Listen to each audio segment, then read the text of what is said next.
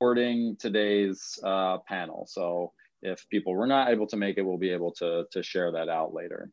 Um, I'm gonna go ahead and share my screen and we will get started. Everybody see that? Thumbs up? Yes, great, thank you.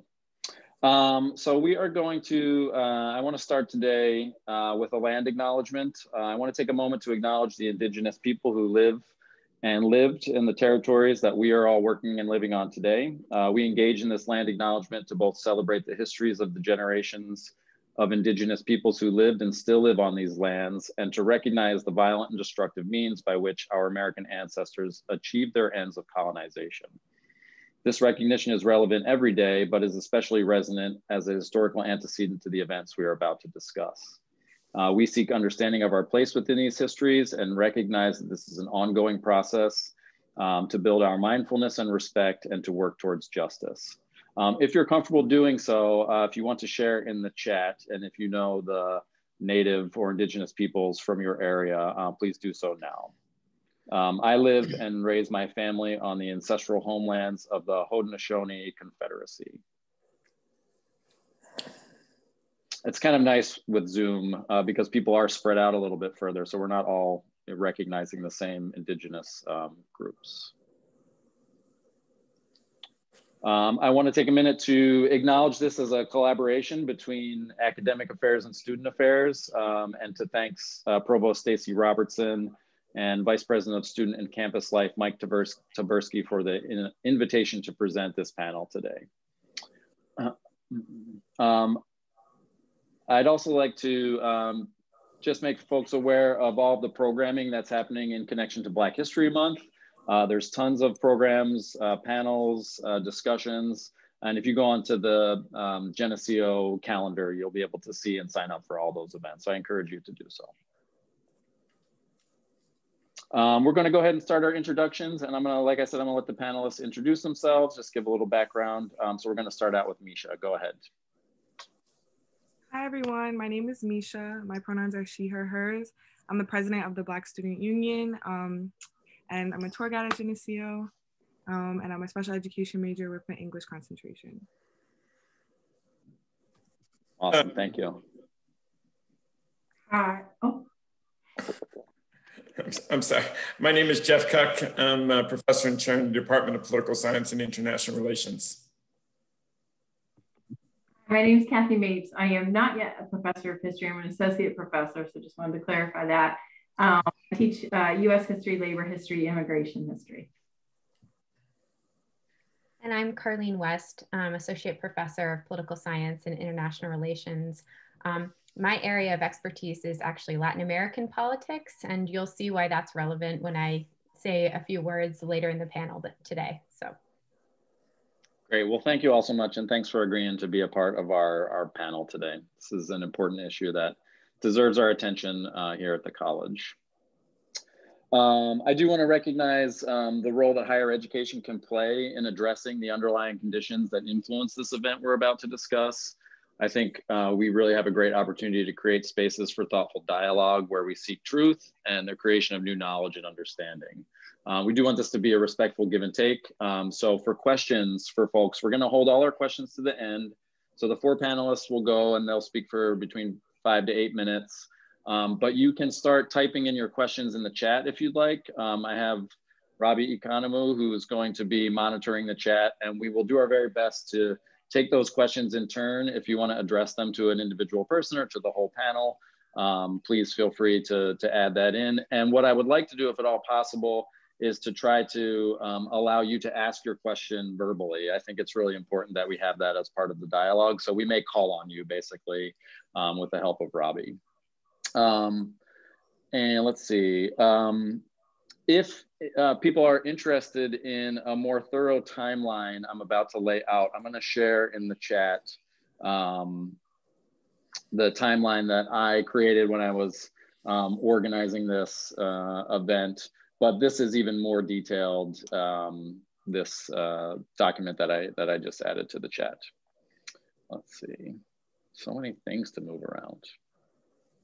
Um, and most of the things from this timeline I gathered from a number of different sources, including um, a great outline of like breakdown of minute to minute from billmoyers.com. I got some things from USA Today, the New York Times, and the Associated Press and NPR. Um, there are some images um, that I have in these few slides. They're mostly things you probably have seen before, but just want to let folks know that, you know, people may find them unsettling or um, triggering. So um, just be aware.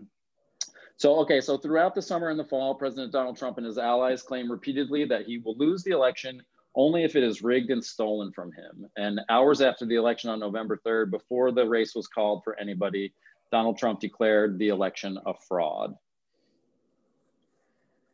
Uh, by November 9th, all the news organizations uh, across the United States have declared that former President, Vice President Joe Biden has won the election. Um, starting on November 9th uh, and to this day, um, Trump and his allies are refu- refuse to concede and continuously um, claim that the election was rigged or stolen. Um, allies of Donald Trump and Donald Trump himself file 62 lawsuits to challenge the results of the election, and they lose 61 of those 62 lawsuits.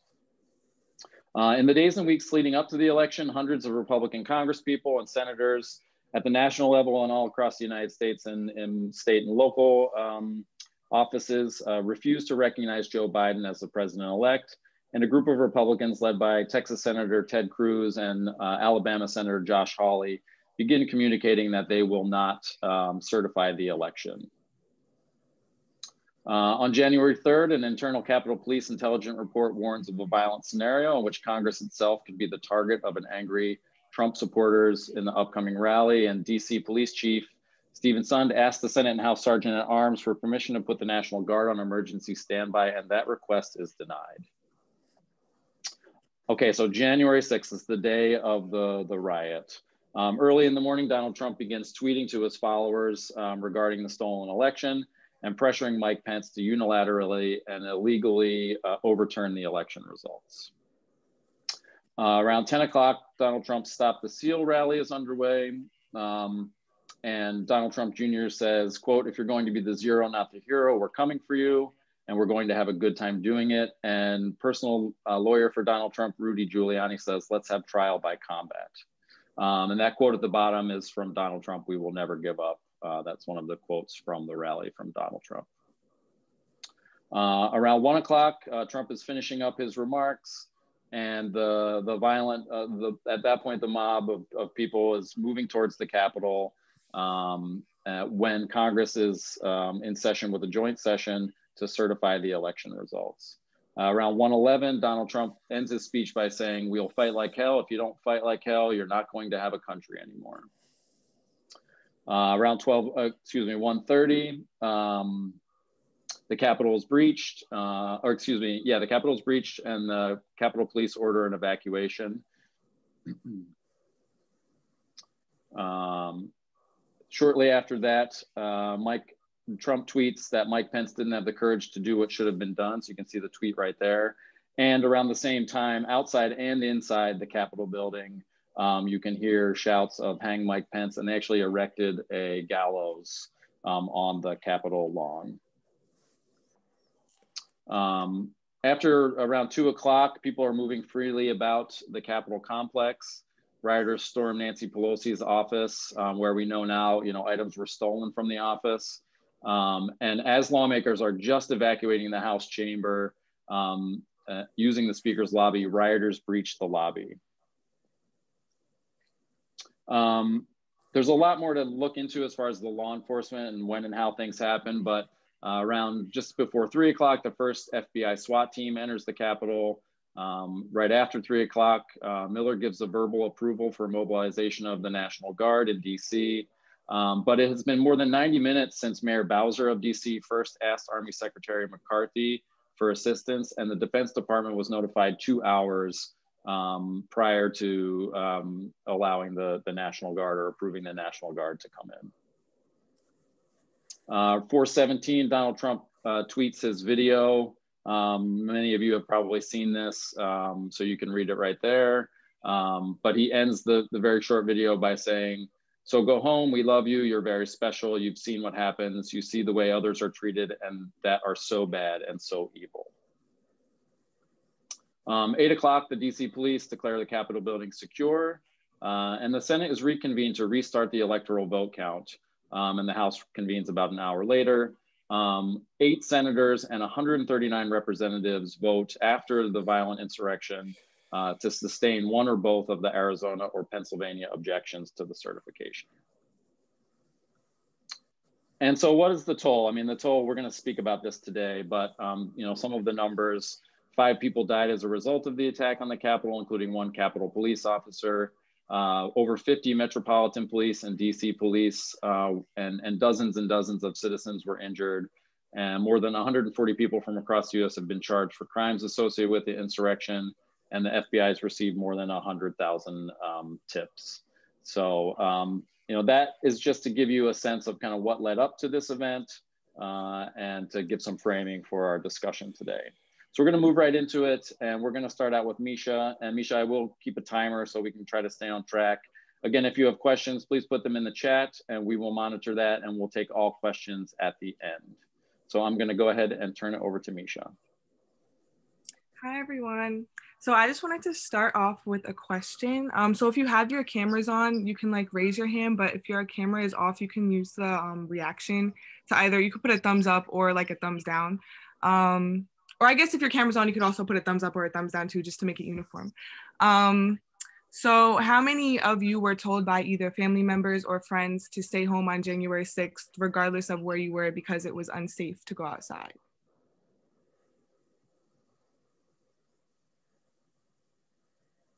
All right, let me just scroll through because there's a lot of pages. Okay. So not too many of us. All right. So actually, just to give a little background about the day for me, um, on January 6th, I was sleeping, you know, minding my business. I don't have cable on my TV turned on because, um, you know, it's all Netflix and Hulu nowadays, especially with the quarantine and stuff. So I actually had no idea what was going on. Um, I was getting ready to go out to um, a restaurant with my mom, and I get like a bunch of phone calls. Don't go outside. Don't go outside. Don't go outside. I'm like, what are you guys talking about? Like, I'm hungry. Like, what is going on here? Um, so then that's when I click on the news, and that's when you know, like, reality kind of set in. So for January 6th, 7th, and 8th, and all the times um, surrounding the um, riots, my family and friends and close family mem- members in my community, we did not leave our house. Um, my mom works as a judge in a court building. She did not go to work. Um, I live on Long Island just to give some more background. So I do live um, in a community that's a part of Long Island. It's a majority minority community. However, if you're familiar with Long Island as a whole, um, there are some communities in Long Island that are majority white. Um, so we did not leave uh, just to be safe. Um, so I just wanted to touch upon that and like how this actually impacted different communities. So some people was just kind of like, oh wow, that's crazy. Like we're watching from afar, you know, I can't imagine what it's like being there. But for some of us, there were actually smaller riots happening right in our communities. Um, so I think that's really important to talk about if we bring it up later in the panel. But I just wanted to talk about it a little bit now because I think we kind of forget sometimes, maybe it's just how did it affect that general area? But sometimes we can forget how it affected these smaller communities and communities all over the world that are watching this from home. And it could possibly be happening on a smaller scale right outside our windows. So there was a riot going on um, in a shopping center right down the block from our house. Um, it wasn't as crazy as breaching a Capitol building, but you know it was still really scary um, to go over there. Um, if you were to go, like my cousin worked at one of the stores that were on the strip, um, they would shout racist remarks and things like that at you. So it's just really hard to feel safe um, in a community like that. So I think um, that's going to kind of lead into what I want to talk about regarding the Capitol. Um, so I'm going to drop something in the chat, not for you guys to look at now because you're going to need to hear the sound, but it's where um, I kind of got some of this information about how Capitol police officers were dealing with the situation. But I wanted to focus a little bit on the Black Capitol police officers. Um, and in this thing that I dropped in the chat. It's just a voice um, interview. It's not like a video or anything. Um, it's pretty quick. It's like 15 to 20 minutes. Um, so what was that day like for a Black Capitol police officer? Um, so a lot of the words that were used to describe this day was, I was never in a war, but this felt like war. It was a man trying to defend the Capitol. Um, so most US buildings with law enforcement or politicians inside are really overprotected, right? Um, maybe we should think about asking people like Miriam Carey, who was a Black woman who was driving to DC from Connecticut with her younger daughter in the back seat. She made a wrong turn into um, the White House checkpoint, which led to her being killed. So she didn't even get nearly as close as the protesters before the violence began. Um, and it was the only option, the first and only option for just one single woman. So if we look at kind of the difference between you know the black capitol police officers and the black people that surround these buildings um, it's kind of scary uh, for to look at this as a black student or anybody who is a minority. Um, so another thing that i want to go into i just wanted to mention that because i don't know if everyone's familiar with that story but it happened a while ago um, but yeah miriam carey is the name that i can also drop in the chat if you want to look up that story um, it's a really sad story actually but it just shows us that when there needs to be law enforcement and when there needs to be protection, there is. And when it has to be super serious or, you know, they, you know, they shot her, you know, it's kind of crazy. So um, I just thought that was important to bring up when it comes to like how the Capitol was protected and how law enforcement buildings are protected. So moving on from that, my next and kind of last thing I wanted to talk about was just the irony of this situation as a whole. Um, it was a really, really ironic situation um, coming from someone that has been to a lot of Black Lives Matter peaceful protests on Long Island, um, Rochester. Um, just seeing this protest was kind of like, like what's going on here? Um, these protesters were holding Blue Lives Matter flags while stepping over incapacitated police officers. It was just, it was like seeing these pictures was like, what is going on here? So it only kind of made it kind of known like Blue Lives Matter was not to protect police officers, it was just to directly oppose the Black Lives Matter movement. So I just think that's really important for you all to think about. Um, obviously, police officers, their lives always matter. There's so many different kinds of police officers Black police officers, Hispanic police officers, white police officers. Their lives matter, but like the Blue Lives Matter movement is not it's not for that at all, like by any means. Um, and that was something that in the little link that I dropped below, you'll hear the police officer actually talk about. Um, in an interview with the Black Capitol Police officer, he states some attackers actually pulled out their badge and said, Hey, we know what you're going through. And he was like, What? Uh, so some of the actual rioters and stuff were police officers, which I think is important to think about because when Black students or Black people say we don't feel safe calling the police officers um, or calling law enforcement, that's kind of why, because th- that was a majority of the people that were protesting and rioting the actual Capitol. Um, so yeah, the last thing I want to say is in that um, interview, the police officer defending the Capitol building referred to the protesters as racist terrorists, which is exactly what I think they were. Um, all of this just proves that this whole move and this whole riot, it had something to do with Trump losing, but it was partially racially motivated. And I just want us to think about that. We don't have to agree on it, but I just want us to kind of like think about it and think about how ironic the Blue Lives Matter movement is think about the Black Lives Matter movement, think about how everything falls in line together, think about the timeline that we just talked about, and just think um, this was partially racially motivated. The Black police officer in the interview, if you click on it, will tell you he was called the N word over 20 times within the hours that he was protecting the Capitol building. Um, so, yeah, the irony aspect just comes from the direct opposition of the Blue Lives Matter movement to the Black Lives Matter movement and how Trump kind of allows this and motivates it um, by allowing white supremacy to still live and breathe in our in you know in America. Um, and lastly, let's just think about um, being a black Capitol police officer and having a mob of white people come towards you holding um, Confederate flags and other displays of white supremacy and how that would make you feel. Um, do you feel safe? Uh, do you feel attacked personally? Because I would be very scared. I like I want to like say like a moment of oh my gosh, thank you. Because if I was him, I would have went the other way and went right home. I don't know how he stood there. These capital, there was like two or three that spoke in the interview. I don't know how they stayed for that whole time. Um, but yeah, so during Black Lives Matter movements, there are no anti-white flags being held up or any symbols of anti-white ever because it's not an anti-white movement. It's just, you know, a movement of us trying to say, well, hey, like, let's think our lives matter too. That doesn't mean that other lives don't matter But then when you see these Blue Lives Matter protests and this riot in the Capitol, they're holding Confederate flags and all of these anti-black um, and all of these anti-minority things that are just a symbol of white supremacy. So yeah, that's just my thoughts. Um, thank you so much for listening. And I encourage you to click the link and also just think about some of those kind of harder comparisons that I made there. And yeah. Awesome. Thanks, Misha. You stayed right on time. Perfect.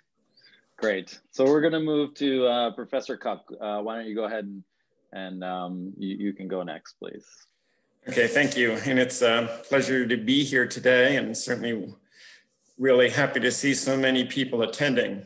Um, I mean, my view of the whole thing was that it was extremely stressful. And, and you know, I saw it as a moment where democracy in the United States was really under stress and, and really feel that we are kind of at a pivotal point um, where we're kind of on what would seem to be a wobbly path as to whether or not we're going to become more or less democratic in the future.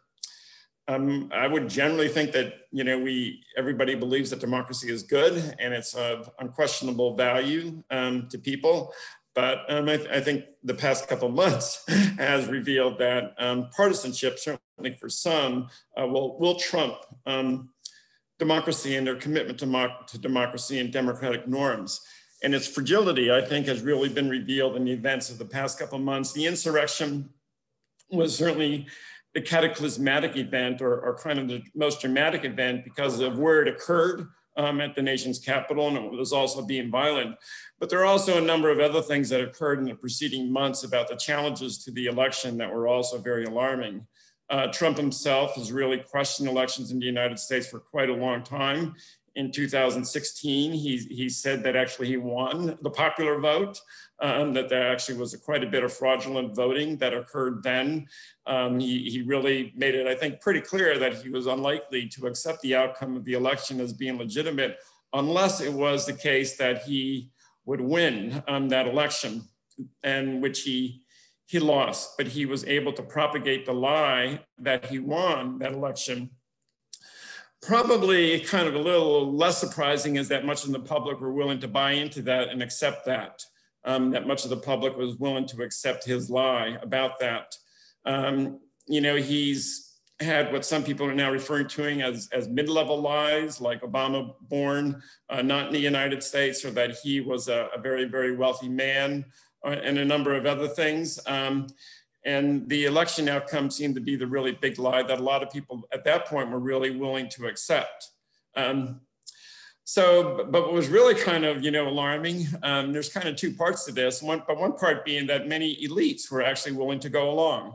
So you had some senators and some members of the House of Representatives and some other um, figures within the Republican Party who were willing to accept that lie and seem supportive of that lie.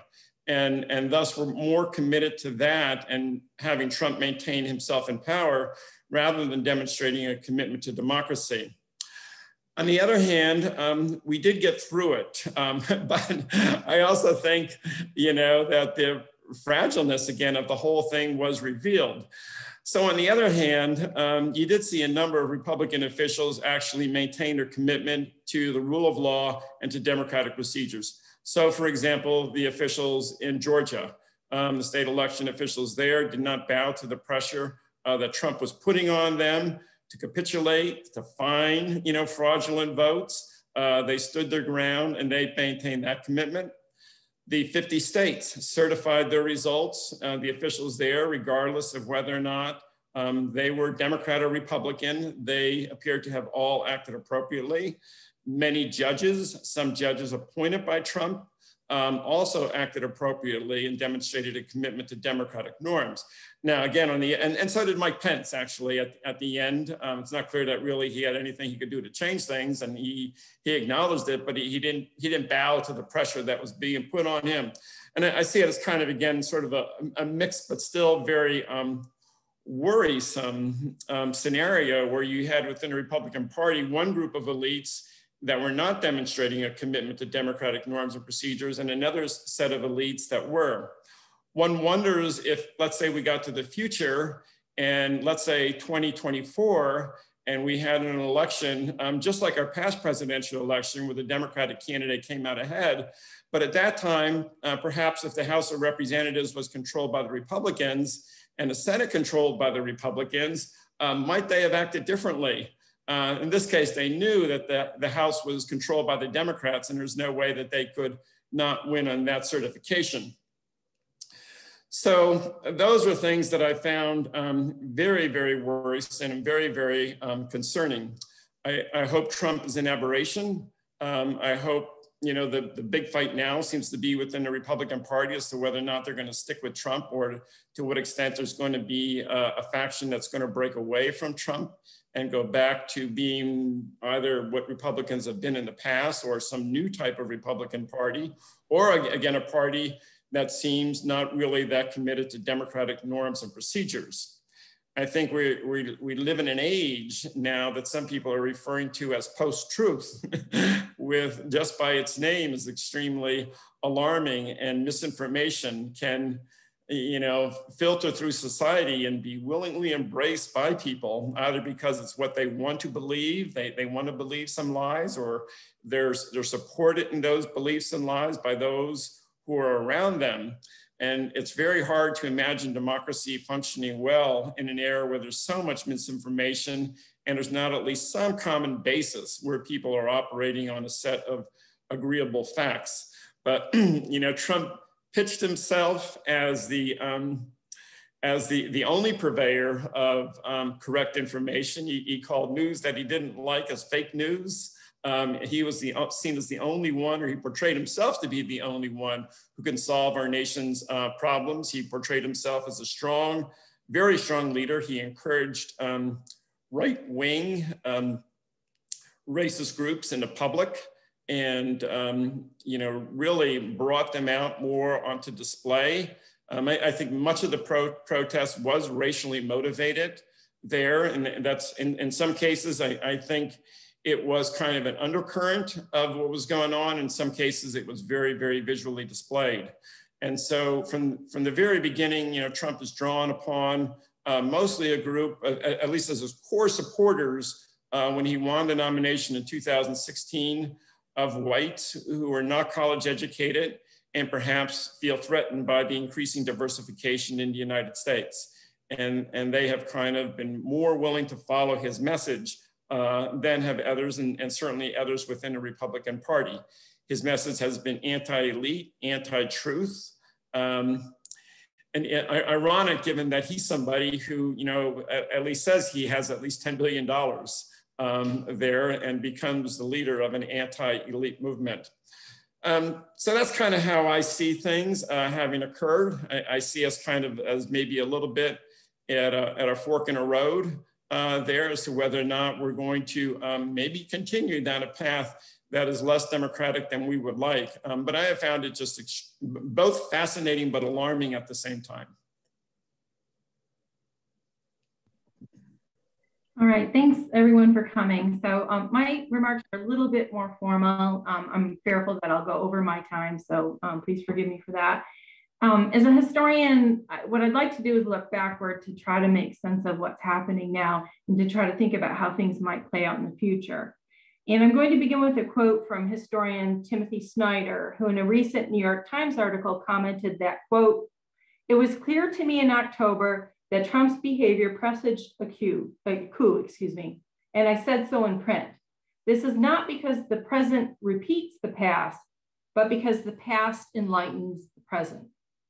So taking the last part of Snyder's words to heart, that the past enlightens the present, what I'd like to do in the five or so minutes I have here is to briefly revisit the 1898 Wilmington Massacre in North Carolina, in which a democratically elected government was overthrown by a coalition of white supremacists. I hope that in revisiting this awful event, it'll provide a way for us to think more critically about what happened on February, January 6th, and what lessons we should heed. Now in 18, very brief lesson here, in 1894 and in 1896 and in 1897, a biracial coalition of Republicans and populists, the People's Party populists, successfully challenged white supremacist Democrats for control of the government in North Carolina. They won both um, houses um, in North Carolina. They actually sent two senators um, to the US Senate. They won the governorship. And in the city of Wilmington, North Carolina, um, they also elected a, governor, a mayor.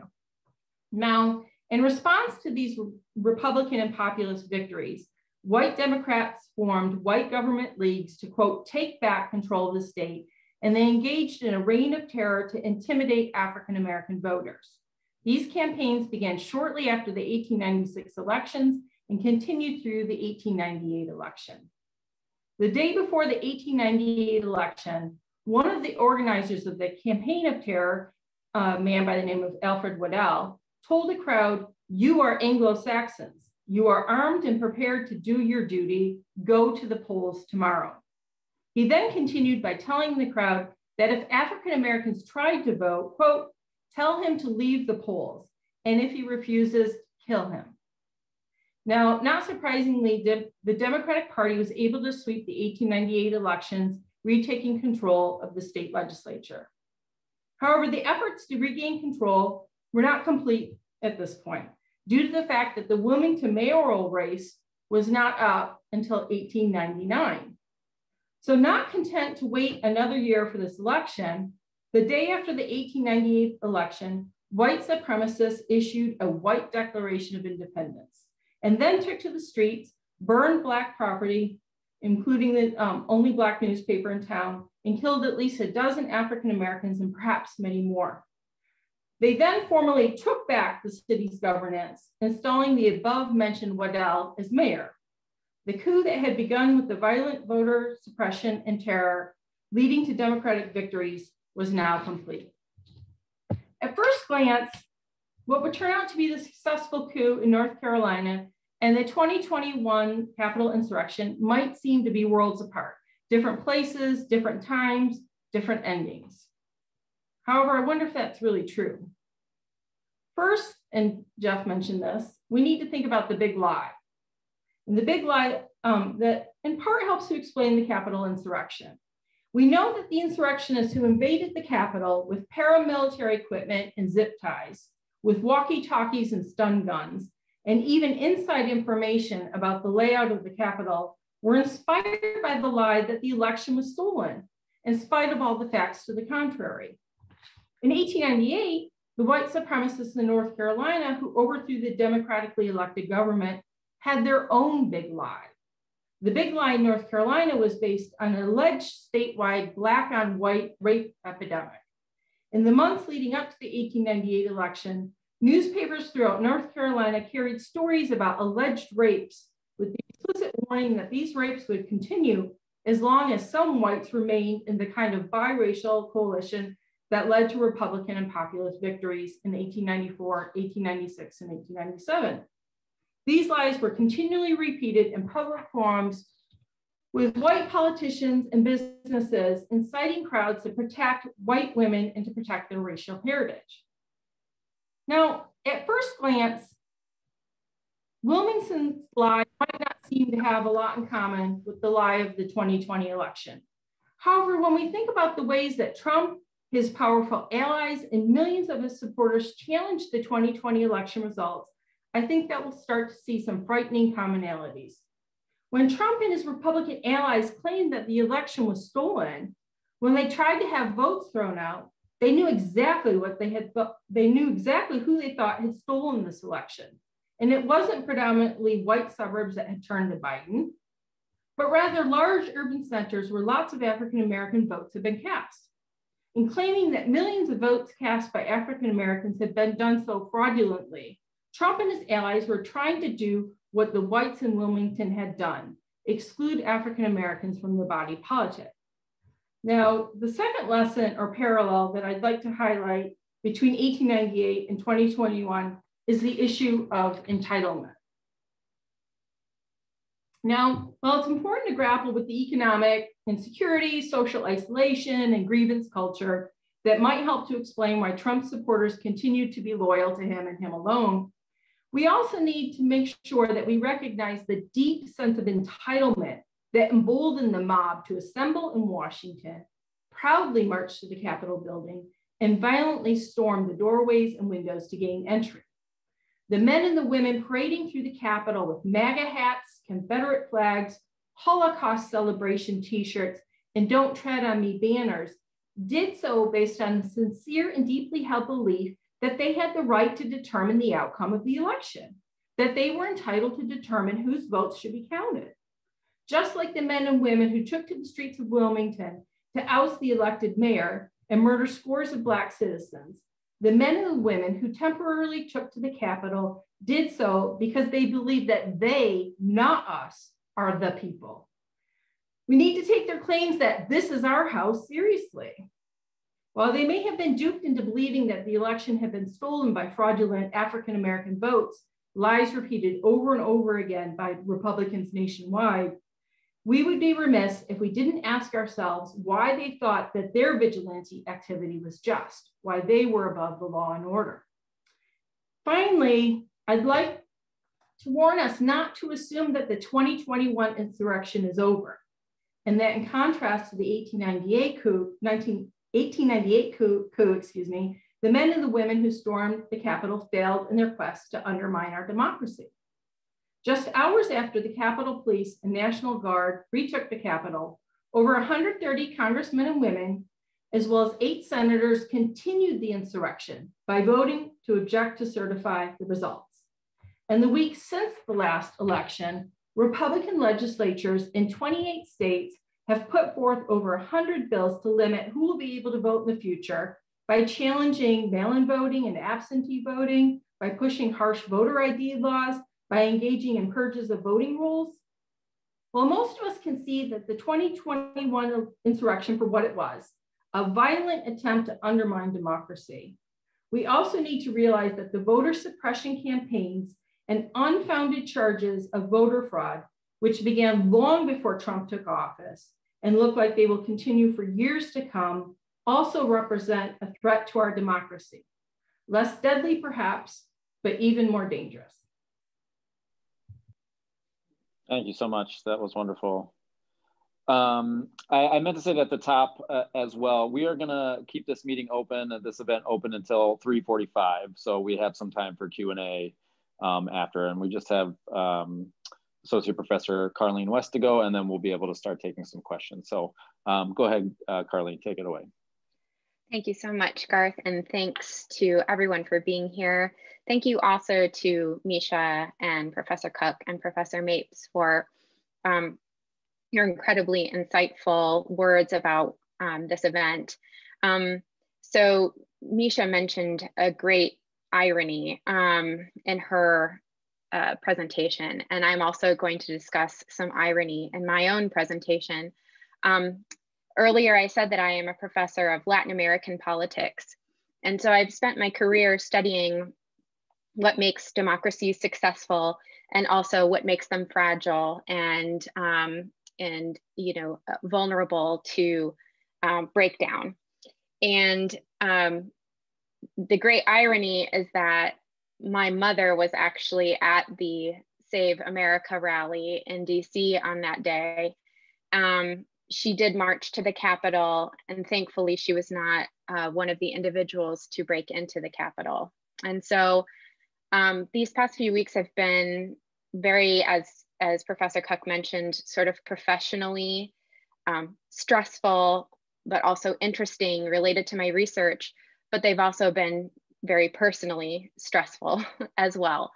Um, so I, I just want to highlight a couple of things um, about sort of my research and then also um, how that applies to what happened on January 6th. And I'm just going to share my screen because um, those of us that study Latin American politics, we were concerned very early on about the Trump presidency. Um, and that is because, um, hold on just a second here. Let me see if I can share my screen. That didn't work as I wanted. Okay. Um, that's because there is an authoritarian playbook and Trump followed many of the techniques that um, authoritarians around the world utilize to um, shore up their power and suppress democracy and democratic dissent, uh, dissent um, and opposition. And so in 2016, leading up to uh, the election between President Trump and Hillary Clinton, um, a bunch of political scientists, and this was initiated by political scientists who study Latin America, um, we signed on to a letter of concern about the Trump presidency. There was actually an, an opinion piece that came in, out in the Washington Post that highlighted um, our concerns. And I've, I've included in the slide a number of the, the concerns way back in 2016 that we had about the Trump presidency. He cast doubt on the validity of the election process. He was doing that as he ran for the presidency. He was casting doubt on the electoral process. Um, he stated then that he would reject the outcome of a free election if he didn't win. He, at the time, encouraged supporters to engage in voter suppression. Um, he threatened to jail the leader of the opposition party, right? Lock her up. Um, he questioned the independence of the judiciary. He impugned the loyalty of citizens on the basis of race, ethnicity, religion, country of birth, immigration status. And he endangered the freedom of the press by intimidating individual journalists and banning news organizations from his rallies if he didn't like their coverage. So the, the red flags were all over um, Trump and his candidacy way back in 2016. Um, looking back at this letter, um, as I was thinking about the events of January 6th, it just um, made me feel incredibly saddened for our democracy that someone who so clearly drew from an authoritarian playbook could be supported and nominated by a major political party in this country. It is shameful, really, that a political party that was so interested in winning, they could see the popularity that Trump had. Um, whether or not we agree with his popularity, it's clear that he is popular. They could see that popularity and they hope to benefit from it um, in spite of all of these concerns. To me, that's incredibly shameful.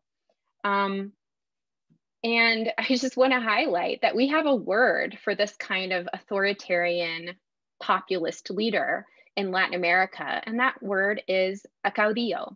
A caudillo is an authoritarian style leader who often um, surges into uh, a political office because they are incredibly popular and because they use populism to um, you know to form a kind of alternate ideology right? We don't just talk about conservatism anymore in the united states. We talk about trumpism. In the same way as in argentina they talk about peronism. It's its own political ideology right? And so you have these charismatic leaders who um, who are you know are able to ride into office on their personality on their charisma and are also able to utilize that popularity to undermine democracy so Peron in Argentina was infamous for jailing members of the opposition, for stamping out the opposition. Um, Alberto Fujimori, when he became president in Peru, he actually abolished the judiciary and reappointed an entire new judiciary who he knew would be uh, favorable to his perspective. Um, these are caudillos. We are lucky that our democratic institutions in the United States are strong enough to have withstood Trump. And I, Professor Koch pointed this out very well in his um, in his discussion here today. That we are very lucky that we had en enough strength of our democratic institutions to withstand the pressures that Trump put on those institutions um, in an attempt to shore up authority for himself. Um, the last thing that I want to say is that um, a key component uh, from the playbook of Latin American dictators is the use of propaganda. And so, um, you know, we all became aware of this term alternative facts when um, Trump was trying to boast about the size of his inauguration crowd.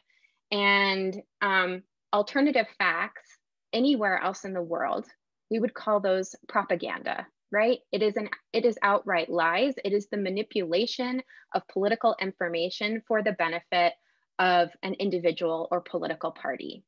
And again, the fact that the Republican Party, a, central, a party central to democratic competition in this country, just seemed to go along with this kind of propaganda, even buy into it, shamefully buy into that propaganda on the date of January 6th by promulgating the big lie that Trump had potentially won the election. It, it's, it's so damaging. It's incredibly damaging, right?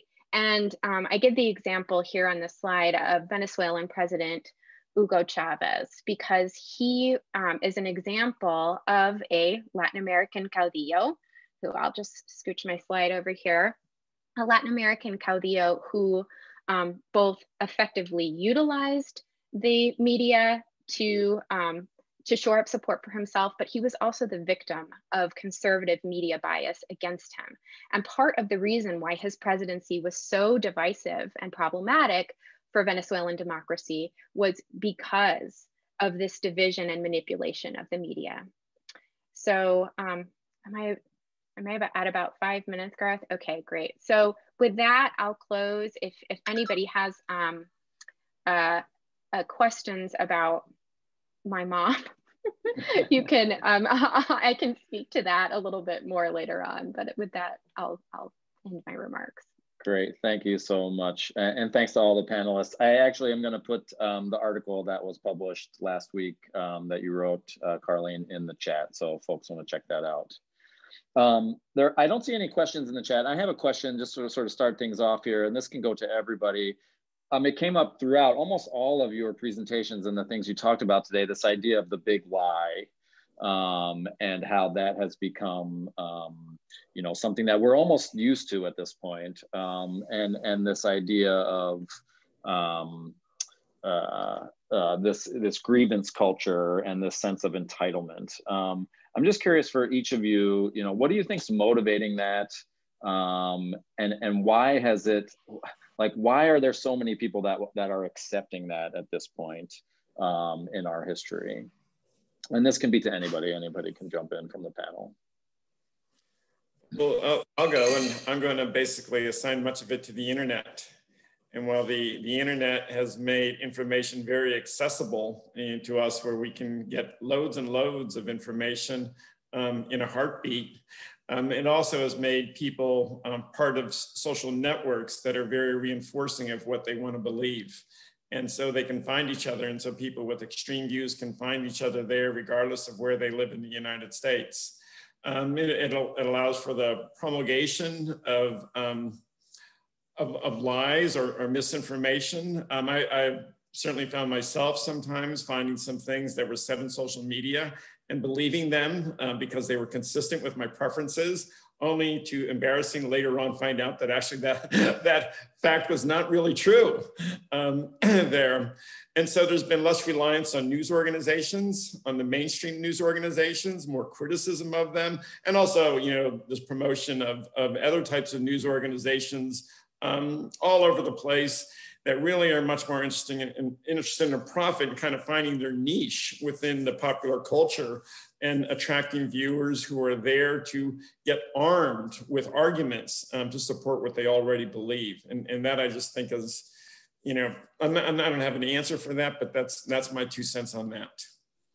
Yeah, thanks. Go ahead, Kathy. So I, I kind of wonder whether um, we blame the internet too much um, that we blame Trump too much, frankly.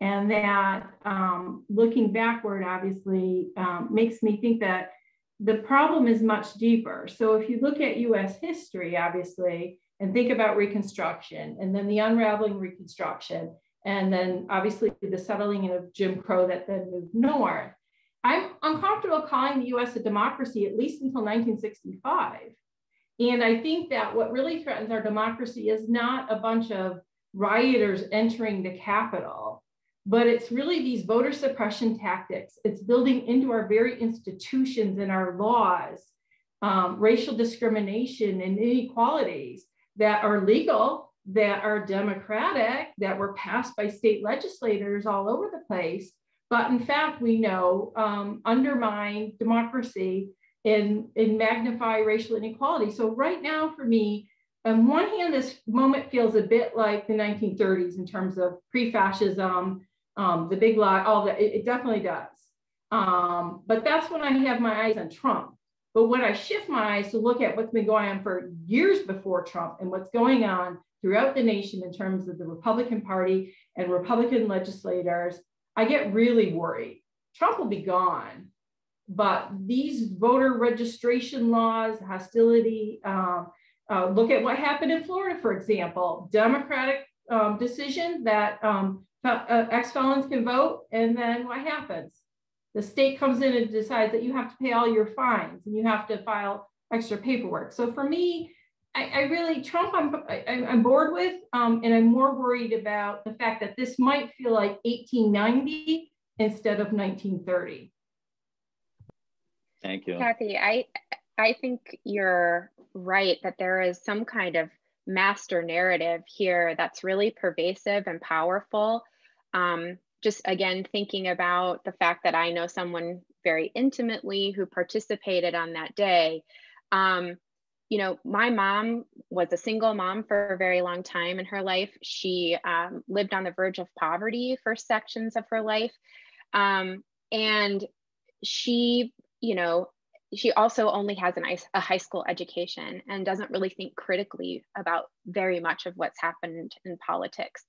Um, yet there is this master narrative within the United States that if you just work hard enough and you know um, and take advantage of all of your opportunities, you're going to pull yourself up by your bootstraps. And so someone like my mom who looks, you know, and says, well, you know, there are these, there's this other group of people that seem to be getting quote special treatment um, it goes against that master narrative. Um, you and I and almost everybody in this room, we recognize that there are, that it is built into the very fabric of this country, that there is systemic racism. Our country was built on the backs of slaves, but that's not what people are taught in elementary school. And it's not um, how white people large portions of white people in this country think. And so someone like my mom who, you know, feels like she worked hard to, to earn what she has um, continues to have this sense of entitlement because this is what this is one of the dominant master narratives that exists in our country. Thank you. Misha, any thoughts about that, the big lie, and then we'll turn to some of the questions in the chat. Well, yeah, I was just gonna bring up the fact that um, I don't think, yeah, I think we have to think about like it's not just Trump, but I feel like Trump made these people feel comfortable showing themselves and people that have these ideologies feel comfortable like outwardly saying it because like you said systematic racism these people have always existed. Um, far right has always existed. I just feel like trump and the fact that he enables this and the fact that he says it out of his own mouth he's blatantly racist you know um, i think that just made people comfortable more comfortable with violence racism and all of this stuff. So that's just what i wanted to add here great thank you um, we do have some questions coming in. The first one was submitted by, at least the screen name is Frank Silky. Um, does that person want to unmute and go ahead and ask their question if they're still here?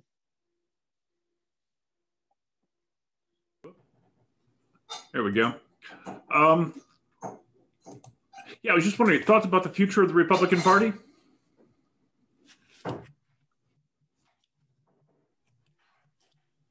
Anybody want to jump in? Um, I'm not sure where they're going, and I, I think it's critically important where they do go.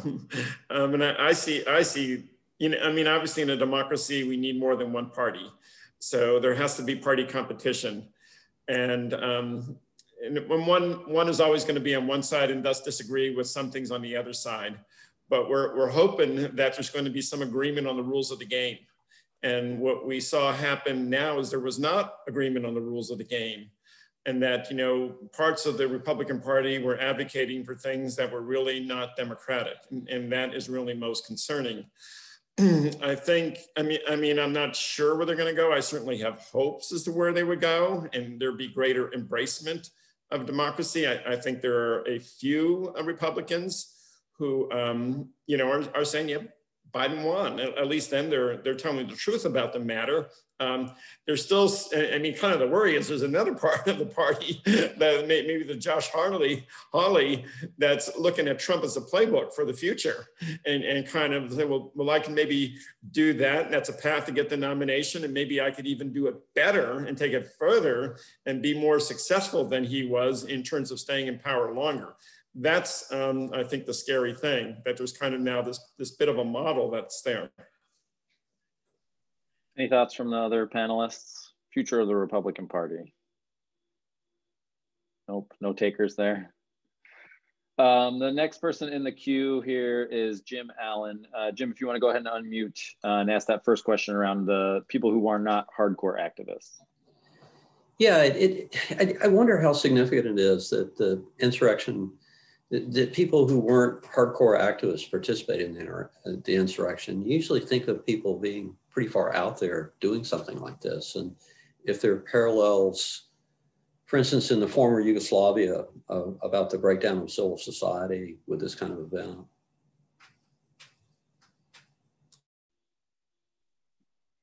So I, I'll take a stab at it again, knowing someone who flew across the country to participate. Um, I think it, I think it's a couple of things. I think um, for a long time, political scientists and Professor Koch knows more about this than I do, but for a long time, um, political scientists have identified certain types of voters as being really motivated and mobilized around identity. Um, and I think that Trump really spoke to a certain sector of the population. He really tapped into something about their identity. We could talk about it in terms of whiteness, in terms of class, in terms of vision of success, in terms of masculinity. I think there are all kinds of ways that Trump spoke to a certain type of person's identity. Um, my mom flew to DC with my aunt. Um, she is a businesswoman. To her, making money is everything to them, Trump is a famous person who just speaks directly to the kind of, I mean, I guess, values um, that they have. And so I think people were really mobilized around a, strong identity and feeling like it was cool to participate in this moment in history. Um, and again, many of them I know, my mom was not was not thinking about democracy on that day. She was not. I was terrified. But my mom was not thinking about that. She was thinking of being a, a you know, supporting this particular individual in a way that, you know, she thought was he was treated badly. She believed it, you know? So I think we do have to be aware. I mean, many people believed this. They believed it. And I think Professor Harold put in the chat Trump himself may have even believed it. So that's my thought. Any other thoughts from the panel on that? You know, what's motivating folks who aren't maybe, you know, as radicalized or, you know, as extreme? Jeff, when we were playing this, that was one of the things you had mentioned was this like intensity of engagement, you know, that when we saw it on the day, it was like, oh my gosh, look at all these people yeah. here. Well, I mean, I, I very much uh, share Professor West's thoughts about it and, and think she's um, very much hitting the nail on the head there. I mean, part of it again is that white identity and, and the feeling that it, some of us would kind of find disbelieving in, in, that there are whites who feel under threat because they're white. Um, whether or not that's that's true or has some basis on reality, there, there is a fact that they they actually somehow um, feel that way, and he was able to tap into that and mobilize those people in a way that I really surprising. I mean, and just kind of parenthetically, as I read about the people who were arrested and, and some of those who were most prominent, I was surprised to learn how actually financially successful um, many of them were. You know, they, they, they were not people who were just scraping by. Many of them had professional jobs, and at least by American standards, maybe not super rich, but doing very well, but somehow still feel very aggrieved um, they're in a, very um, polarized environment racially and in terms of partisanship. And, and that brought them to travel across the country and, and risk their lives. And, and many of them are now arrested um, and really, you know, just incredibly under, I think, feeling threatened and then showing quite a bit of commitment to, to the man at the top. Great, thank you. I, struggle a bit too with this tension between, um, I think there's a tendency to blame poor whites, you know, that, and if I, correct me if I'm wrong, but people making over $100,000 a year voted more for Trump than they did for Biden. Um, and certainly I think that, you know, the motives are, are, are varied. Um, but I, I, I, the thing I struggle with is um, kind of looking so much at their victimization as an excuse then to explain instead of also, and maybe we need to do this at the same time, recognize the deep sense of entitlement. And I think Misha was right. I mean, you can't overlook racism is to me, that's the glue holding all this together. And I, I think Trump was brilliant because he first went after, obviously, Mexican immigrants. He went after um, quote, you know, people coming from Muslim nations. And then the anti-Black rhetoric really picked up. So I think he pulled people in who were suspicious of outsiders, you know, suspicious, you know, that there, that were had a lot of Islamophobia. And then all of a sudden it became a bit more acceptable to wonder about, well, African Americans as well. So I, I, really struggle with this on one hand, thinking it's really important for us to understand where they came from, but sometimes it starts to feel like a therapy session that's not deserved, frankly. Um, and instead, what we need to do is, and this is where I go back to late 19th century, early 20th century, because you see the same kinds of arguments made. Who's attracted to the KKK and why? And it's this mix of I'm a victim, but actually I'm really entitled at the same time. Yeah, I noticed that in your presentation, um, just the language that was used back then, it's very similar to what we hear today, you know, sort of framing people as the other and um, you know, I, I, caught that in your in your presentation. So um, I want to move to the next question because I think um, uh, Misha, this sort of um, relates to to your um, presentation and also continues on this. So Kate Shields, do you want to go ahead and unmute and ask your question? Kate's still here. Yeah. Hi. Um, so my question was, do you believe that the rioters should have been able to walk away? Could this have been a strategic decision based on specific risks of further violence, or did it simply happen? And then I added an examination of the contrast between police behavior in this incident and during the protests following the killing of George Floyd, for example, seems crucial to this question. Misha, is that something you feel you could you could feel that? Okay, so even like should they have been able to walk away, meaning nobody gets arrested, everyone just goes home kind of situation. Okay. Um, I think I think it's hard because um, you can't arrest um, like a million people. It wasn't a million people, but you can't arrest like you know that many people. But at the same time, it's like that was crazy, and like you know doing that to a Capitol building is an offense. So I do think that whoever you know w- went past the line of peaceful protest and just peacefully you know saying their piece and how they feel about the elections should be arrested. Um, because when it comes to comparing that to the george floyd protests um, those aren't riots. Those are protests and they're peaceful. And anytime it was a riot it was most likely fueled by law enforcement because um, a lot of the times where the looting started it was actually started by police officers undercover police officers that were trying to fuel the riots and make it look like um, that it was a part of the protest. And that's like proven and there's videos and like proof of that. So i don't know about strategic um that's like a really good question because i feel like regardless of what happens and who gets arrested this is going to continue. Um like because like we said like people feel comfortable now um and they feel like they can show themselves and act this way. So um yeah i don't think they should be able to walk away for sure. But um i also don't think that just because they're arrested that it's going to stop um so i don't think it was too strategic i just think that if they didn't make any arrests um there would have been a lot of counter protests and i think that that's what they're trying to um, avoid i don't think they actually care about arresting or actually think these people are wrong i just think they want to avoid any counter protests or anything that could have escalated after this because there was no actions taken against the um, rioters in this situation Great, thank you. Anybody else from the panel have thoughts about that question? About how we deal with the folks who were there? And, you know, there's tens, tens of thousands of people there is my understanding. We obviously can't arrest all of them. Um, just that difference between how, um, you know, so many black protesters or folks connected to BLM were treated throughout the summer as compared to, you know, what we saw on TV unfolding on the 6th.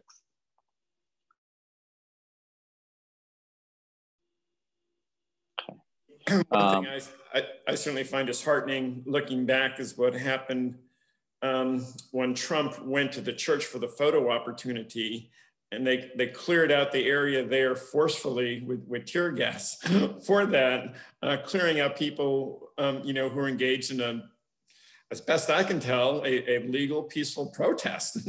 I mean, I just also cannot believe that that was happening. I, I, actually can't believe, you know, that there's not more of a reaction to that, and and even really, um, you know, raises the question as to who should be arrested there and who was engaged in wrongdoing. Good point. Um, let's see. Next question, Aaron Harold. You have a question I'd like to put to the panel. I, mean, I think uh, Professor West uh, briefly touched on it, but I guess my question was: a lot of you use the term "big lie," and I'm, I was just wondering if a lie is a knowing falsehood. Um, is Trump really lying, or does he? There are some accounts that suggested that he actually believed it. Um, the, the, same shouldn't be said for people like Hawley and Cruz. Of course, they perhaps uh, they should know better. But if that's the case, then we had a different kind of constitutional crisis after January 6th. Namely, we might have had a, a someone who was in, genuinely deluded as president of the United States and commander in chief, and we should therefore count ourselves lucky that we got through it. So I don't know if um, what the panelists would like to say about that, but I wanted to throw that out there. There was one Oh, sorry. So sorry, Kathy. Go ahead. Oh, Carly, you go first. There was one president of Ecuador. He, um, his nickname, he fondly referred to himself as a loco, which means the crazy person. Which, again, speaking of irony, became incredibly ironic when the the Congress um, impeached him for mental um, illness, um, for being uh, mentally incompetent to hold office. So maybe it was just another instance of our politics replicating those in Latin America where we did have a mentally incompetent president. I kind of think that um, it's kind of fascist in a sense. The, the whole point of lying is that you know you're lying. And the people, a lot of the people you're lying to know it too, but you get away with that. You get to determine your reality. I think there's a joy in that that he has. Whether or not he finally you know, believes these, but I think getting away, I mean, he knows, he knows, he, he's admitted that he knows that he lies. The whole point is, and the fun part of it for him is that he gets away with it. So the more he does it, the more incentive he has to keep going. Um, and to me, that's fascism is, you know, you get to lie as much as you want and you know it's a lie, but it doesn't matter because you have the power to do it. Great, thank you. Looks like we'll get to a, a couple more questions here. Um, Aspen Griffing, uh, do you want to go ahead and unmute and ask your question? Sure. Uh, my question is, um, if these rioters were to have succeeded in storming the Capitol before Congress could have been evacuated, could they have threatened our democracy by like forcing Congress to name Trump as president or whatever else they could have done at the stake of the Congress's lives? Or would there be some sort of like protection against them just effectively controlling the US? I mean, I, I don't see how they could have really succeeded. I'm not sure anybody would take le as legitimate if someone voted in a certain way, let's say to decertify, that was done by force and coercion. so that would immediately, at least in my mind, kind of in, invalidate it. it. It seemed like what Trump was trying to, to do is create enough chaos um, in the country, and he certainly did create some contemporary chaos um, there for that period. You know, but it, it, it, it's just kind of the fact that we kind of are think about those questions and you had 20 former secretaries of defense, you know, sign a statement indicating that, you know, the military, military in the United States stays out of elections, does not intervene. From what I understand, that was led by Dick Cheney. I, I mean, just that they were thinking about doing that and, and felt they had to do that and issue that is, is in and of itself just kind of very alarming. Um, this question looks like it was directed to uh, Professor West. Um, Andrew Hart, if you'd like to go ahead and unmute. Yes, yes. Um, just a just a question. Do, I wrote, does Latin America's history of uh, strongmen and populism present any lessons for how to recover that might be applicable? Well, one of the things that I I hope happens, but it's not looking likely, is that we do use our formal institutions, we continue to rely and reinforce our formal institutions to hold this kind of activity accountable. So I know that there are a lot of people thinking, you know, is, is Trump convicting Trump? Is that really a, a politically um, savvy way forward? For me, for me, as someone who, you know, looks at what keeps democracy strong around the world, I do think it's very important to strengthen, to rely on our existing institutions and hold this kind of undemocratic activity accountable. So. Great, thanks. I think we have time for maybe one or maybe two more. Um, Sarah, and I'm sorry for your last name. I know I won't get it right. Fadloai. Sarah, do you want to go ahead and unmute? Yeah, um, so I was wondering like what implications the insurrection has for other far right movements in the US, like other white supremacist movements or abroad particularly. I mean, like, not, I know that you guys aren't European historians, but I was especially thinking of a lot of the um, far right European parties that have some holding in parliament, and if it would have given them motivation to try something similar.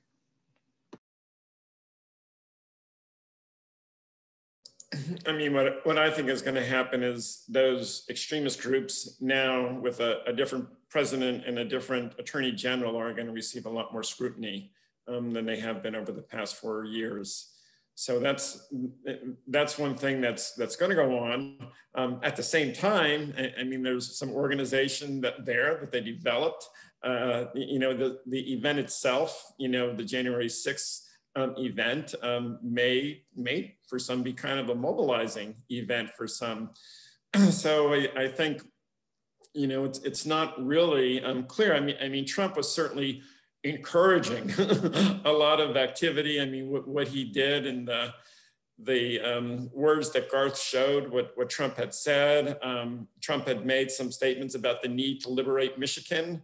And then lo and behold, there's a movement there to, um, you know, capture, take hostage the, the governor of Michigan.